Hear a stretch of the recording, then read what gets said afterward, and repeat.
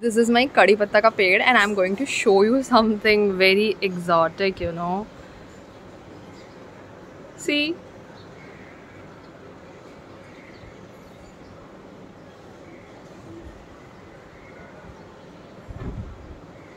Hmm, this is Akira.